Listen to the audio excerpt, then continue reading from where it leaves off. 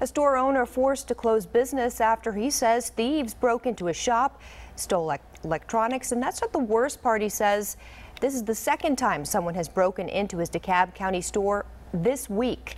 Fox 5's Marissa Mitchell has those details for us.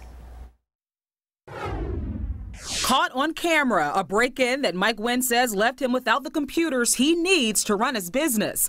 Wynn owns Advanced Auto Tech on Flat Shoals Parkway and tells Fox 5 a trio of crooks hit his shop Friday night. And uh, the diagnostic uh, computer outside is stolen too. And this is where the crew broke in. Wynn says they cut a chain link fence and smashed through this window. What's even more disturbing, he tells us the burglars ran out of the store after an alarm went off, only to return a short time later. And they wait for about another 30 minutes. They come back in and um, busted the inside the office, go uh, the, the back office.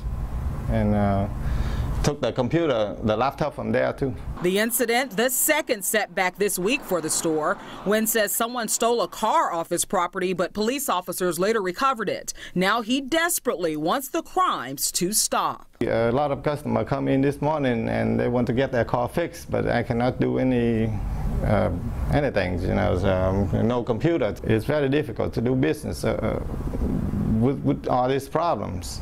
In DeKalb County, Marissa Mitchell, Fox 5 News.